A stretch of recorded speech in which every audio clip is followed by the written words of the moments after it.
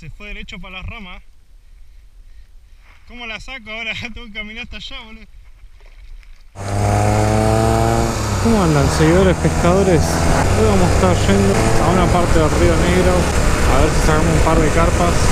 Vamos a estar embarcando en kayak. Y bueno, acá estamos en una de las elevaciones de las tantas que hay sin terminar en la ruta 22, ruta nacional 22. Y acá en vez de seguir, nos mandamos para adentro, pasamos por abajo del puente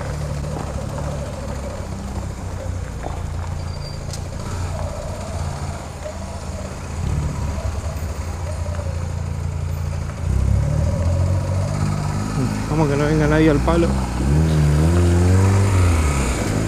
Y bueno, acá le damos derecho. Asentamiento de la pasarela.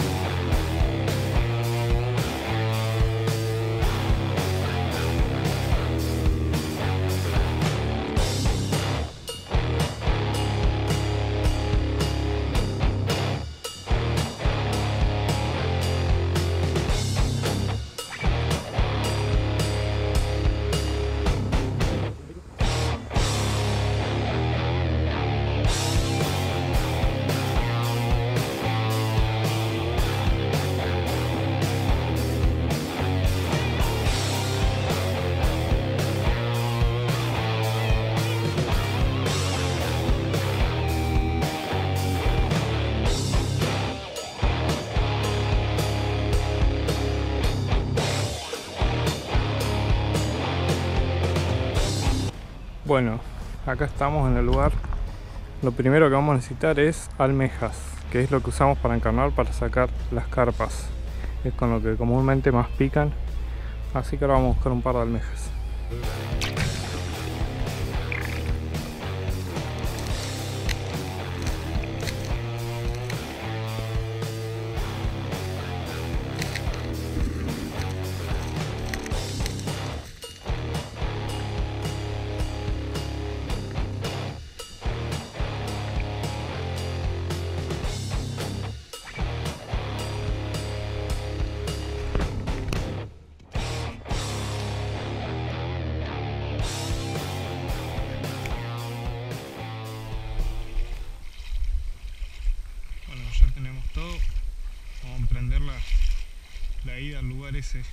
Al lugar prohibido.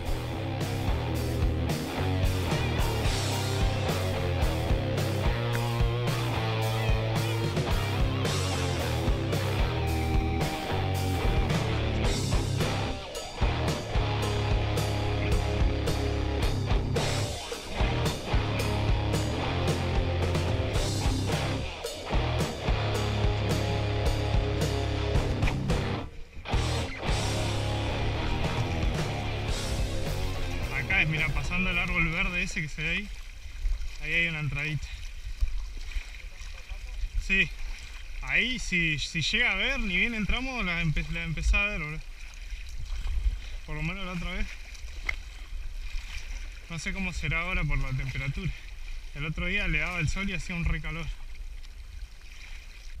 Habría que parar ahí en el pastito acá, ni bien entramos, boludo.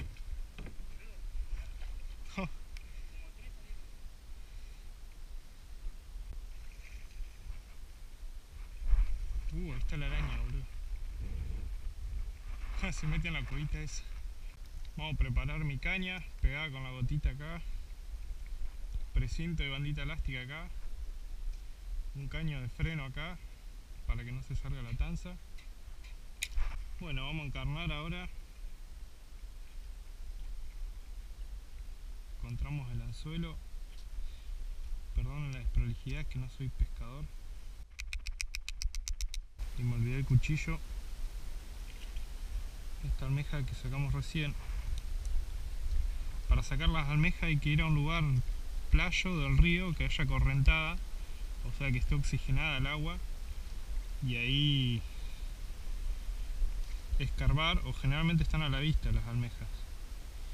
Según me contaron, la mayor plaga sobre el río Negro no son las carpas, sino las almejas. Hay más almejas que carpas y bueno, la carpa se come la almeja. Y le ponemos entre 2 y 3 almejas por anzuelo.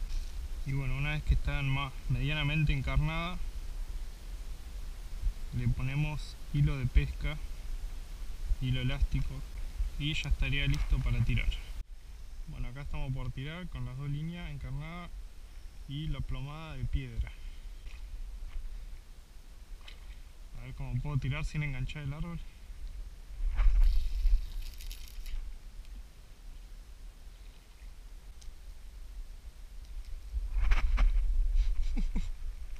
Bueno, me quise meter ahí, pero miren cómo me cae enterrando.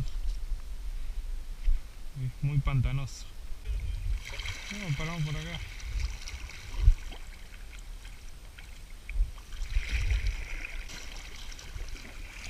Encontré un lugar más o menos agradable, así que vamos a probar tirar.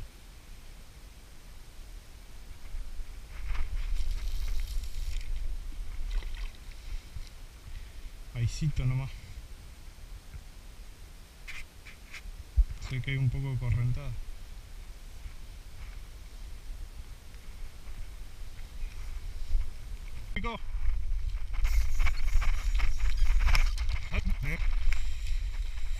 Ah, se fue derecho para las ramas.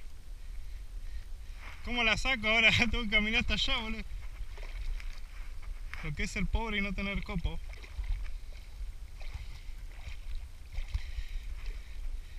Sí, ahí viene.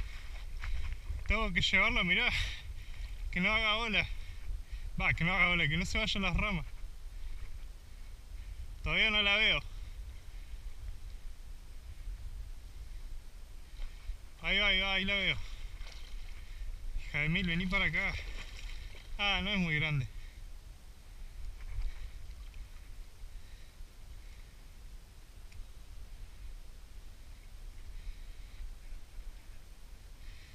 Plomada de la suerte. Tira. Tienen fuerza esta hueva.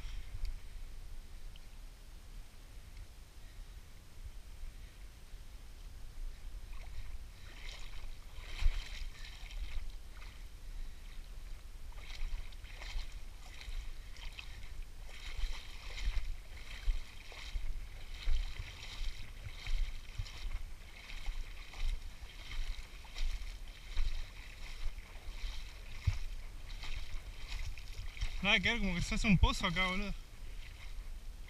Uy, hay una rama. A ver si la puedo sacar acá, está la playita. Uy, se enterró la... Vamos, mi caña de la suerte, loco. La única que tengo.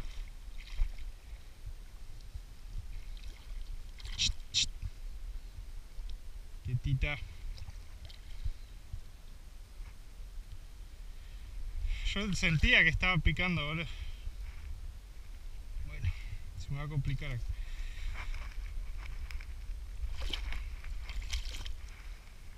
Uh, espero que no se enganche con el otro anzuelo.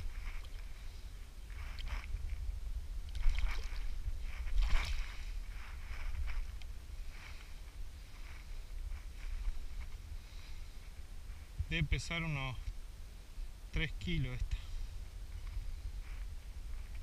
La puedo agarrar sin que se me caiga.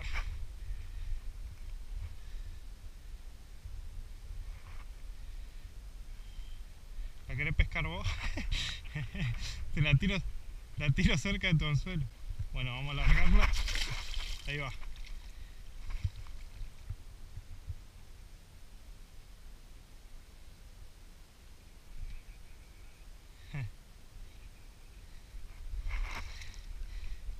Podemos ver cómo se chupó toda la almeja de arriba, de la, de línea arriba. General pica, generalmente pican la de abajo, pero esta vez pican la de arriba.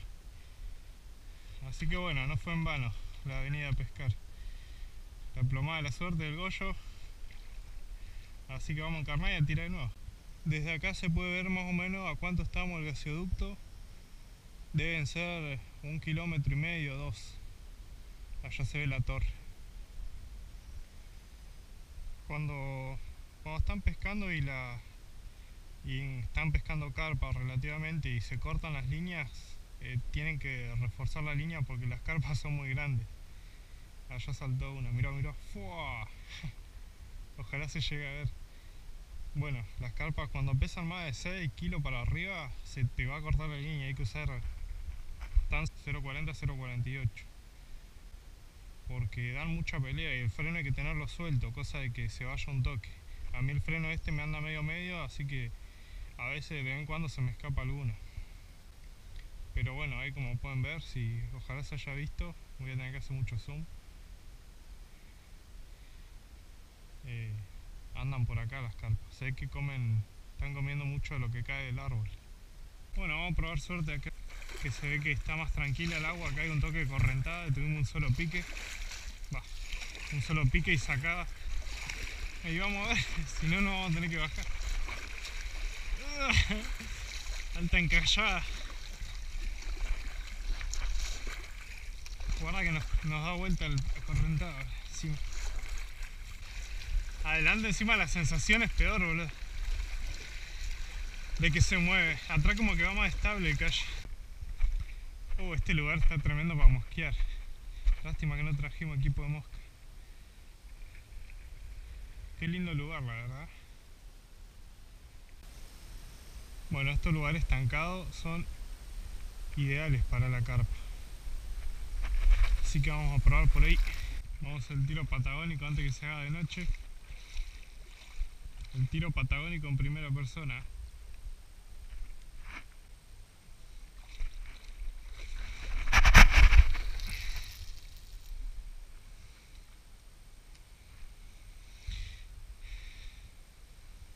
Y bueno, ya son las 8 de la noche, así que vamos a tener que, estar pegando la vuelta. No hubo más pique en todo el día. Mirá dónde te enganchaste, boludo, en una rama. Manzonzuelo tenés, boludo, está terrible este. Bueno, así termina el día de pesca de hoy. Ya tenemos que pegar la vuelta porque nos agarra la noche. Yo corté la línea.